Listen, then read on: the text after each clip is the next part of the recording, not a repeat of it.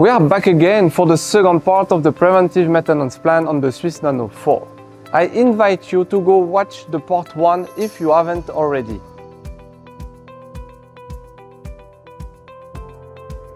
Next step, clean the counter spindles collet. For that, you have to open the collet, open the door. Position your Y4 axis between the guide bush and the dual support. And use the dedicated tool provided with your machine to loosen the counter spindle nut. Just be sure that your counter spindle is fully wetted on the 4 Plus. That will give you enough access for the next step. Now that your counter spindle nut is loosened, you can finish the job by hand. You unscrew the counter spindle nut, then you remove it. You have access to the counter spindle collet and sleeve. You remove first the collet, then the sleeve.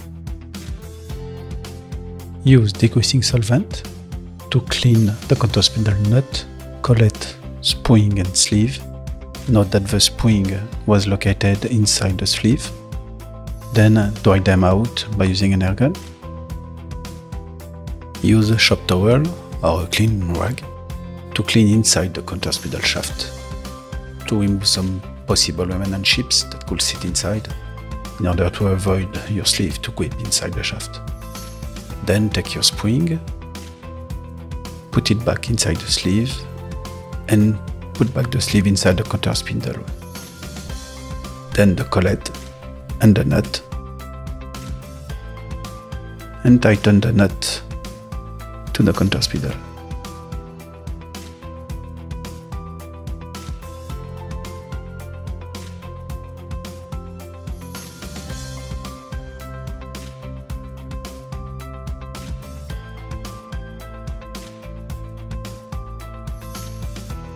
Another aspect of the maintenance is to clean the intercooler of the electrical cabinet. For that, you need a square key to open the service door.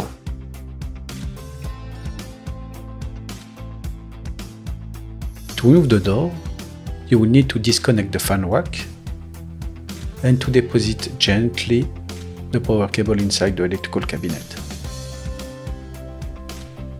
You can now remove the chain and you can lift up the door. Be careful, it can be quite heavy.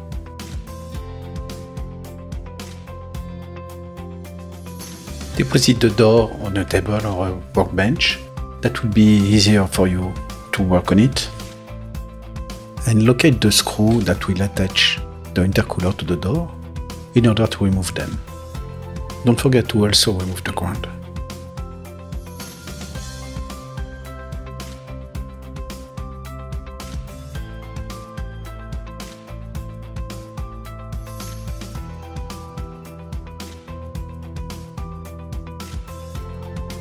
It is necessary to remove the fan rack in order to disassemble the intercooler. To do so, you will have to remove the four screws that are sitting on the top of this one. Lift up the fan rack and disconnect the power cable.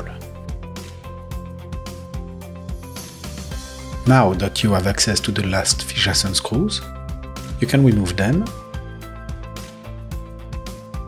and you can now disassemble the intercooler from the door.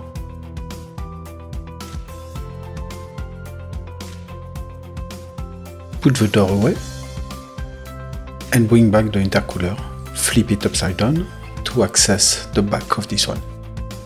You will have to remove the grid first, remove the two screws that are holding it. You have now access to the internal fan rack is the one who should be the Morgan key. You will have to remove the two screws.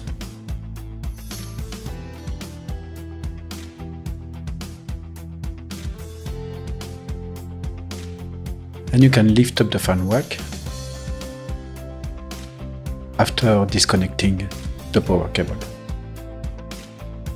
Everything is now disassembled and you can now clean the fans and the intercooler itself. Use air gun to do that. After everything is properly clean, you can reassemble the intercooler in the backward order.